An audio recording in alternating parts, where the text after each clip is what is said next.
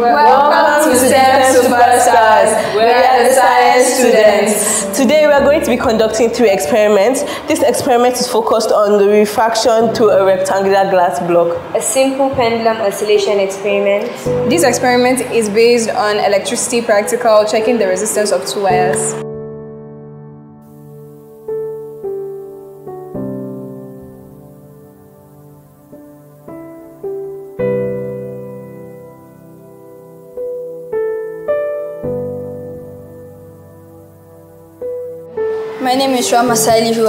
10. My name is Eriolu Olufemi Alabi, and this project is centered about how um, refraction occurs to a rectangular, a rectangular glass block.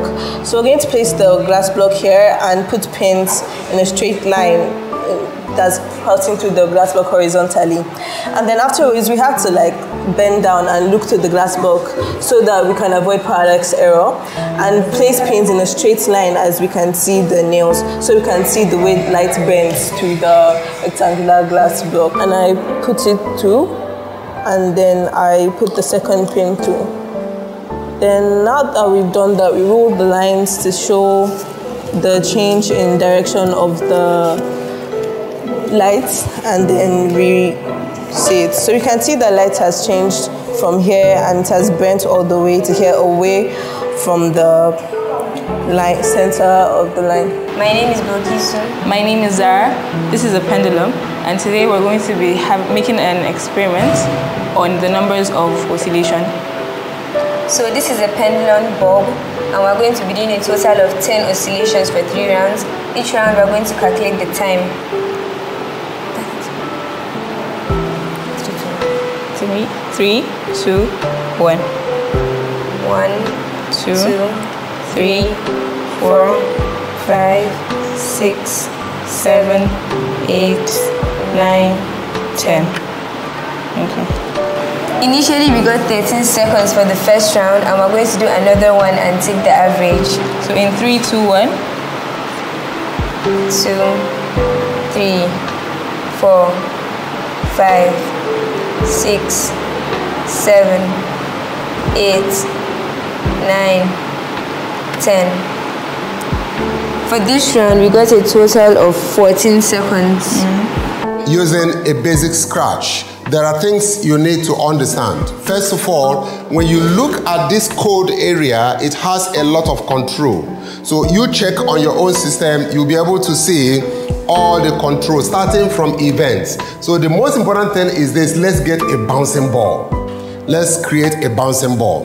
So for you to create a bouncing ball, you look at your events. When you go to events, you can pick when clicks and drop it on your code field. Now, here is your code field where you drop your code, and then you have your building blocks, which are already predefined codes that you can now use to build your code. So, once we have our code from the event code, you can now begin to control whatever you want to control. But let's get all the sprites in. From the sprites, you choose a sprite. The first sprite we want to choose is we'll choose probably a big visible ball. Something that is visible so that when this thing falls up and down, it will be able to hit an object. Now, what is there is that this card, we want this ball to fall on this card and squash the card. So this ball will need to fall and squash the cards. So we have how many things? We have two things. So if you want this to work, first thing first is start with the ball.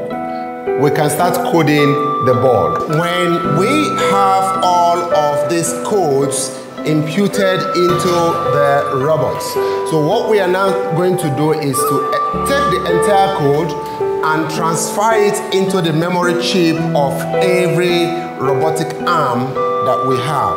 Now the robotic arm will start what? Delivering whatever you have uh, coded. So let's go and see what will happen to the robotic arm in this particular case and see how the program goes. So, ladies and gentlemen, let's welcome the future robotic engineers. Let's see what they can do with it. Please come over.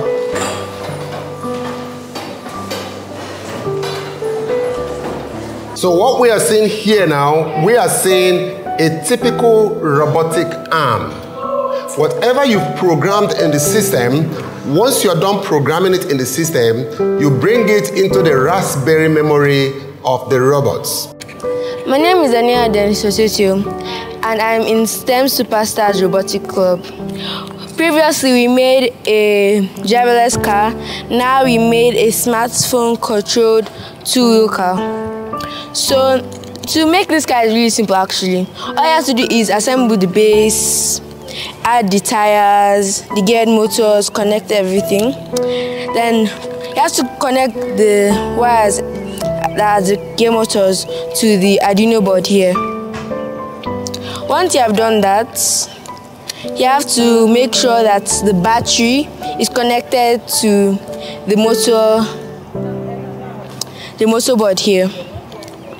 Once you're done with that, you have to connect the Arduino board to the Bluetooth because this is Bluetooth controlled, so you can use your phone to control this robot. So once I've done connecting everything, all you, need, have to add your switch because that's actually very important.